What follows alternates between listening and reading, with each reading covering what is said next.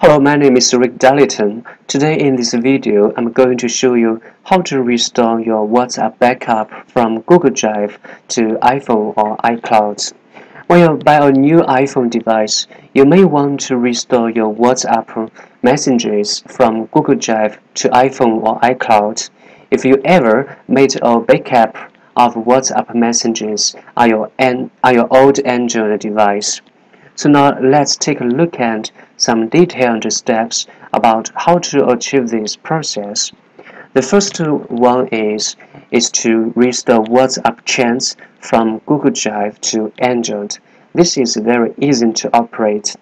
Just uh, um, reinstall your WhatsApp on Android phone and make sure it is connected to the same Google account where your backup is restored.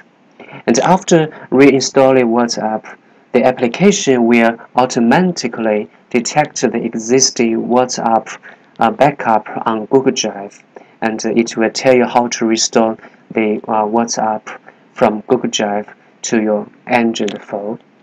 Now, the second step is about how to transfer WhatsApp from Android to iPhone after you just uh, restored the the WhatsApp backup from your Google Drive to to um, to Android phone.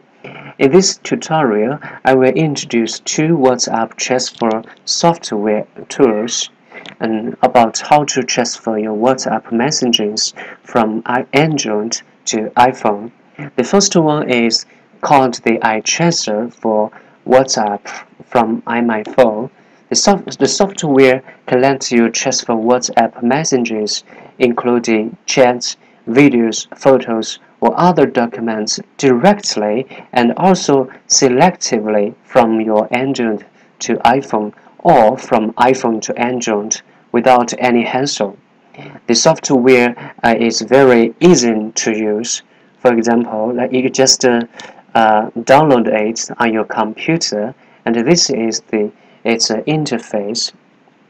It's very easy to use. Now, um, for after you download download the software on your computer, just uh, connect your Android and also the iPhone device to your computer. After the devices are recognized, you could uh, just uh, send your Android as as a source and iPhone as a target, and then select the specific WhatsApp messages to uh, transfer. So it's really very easy to, to use. And uh, what this software is also is able to let you back up your WhatsApp messages directly to your computer in case you lose some very precious data in the in the future. And the second uh, um, WhatsApp transfer tool is called the MobileTrans. The MobileTrans has the very similar features to the iTransor for WhatsApp. For example, it could also let you transfer WhatsApp messages directly from your Android to iPhone or from iPhone to Android. Apart from that, it could also support um, data transfer for other social, um, social apps such as the uh, Line, the Viber, Kik, and also the WeChat. And it's also very easy to use. You, ju you just need to launch this uh, software on your computer and then connect uh, the devices to your computer. And after that, just uh, choose the WhatsApp messages you needed to, um, to transfer. It's very easy to use. If you want to transfer your WhatsApp backup from Google Drive to iCloud, it's very it's very easy to operate. After you transfer your WhatsApp backup from your Google Drive to iPhone, you just need to back up the WhatsApp messages to iCloud very easily. Now, may someone, um, uh, someone may ask uh, why we can't restore WhatsApp messages from Google Drive to iPhone or iCloud directly. Um, this is, this uh, is uh, because the Android sister and uh, iOS sister is not compatible with each other.